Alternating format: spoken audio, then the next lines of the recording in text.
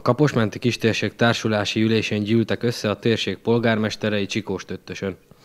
Az ülésen Potápi Árpád János nemzetpolitikáért felelős államtitkár is részt vett, aki a vidéki települések megújítását célzó Magyar Falu programról beszélt. Ez a program 2887 5000 lakos alatti falut érint, a kormány 150 milliárd forint forrást biztosít erre. Fontos lesz az, hogy hogy a, a megpályázható dolgokat a települések úgy osszák el egymás között, hogy a forrásokból mindenki tudjon részesülni, és tényleg minden település csak azokra a forrásokra pályázzon, ami arra a településre szükséges. Az ülésen szó esett a települések kulturális fejlesztéséről is.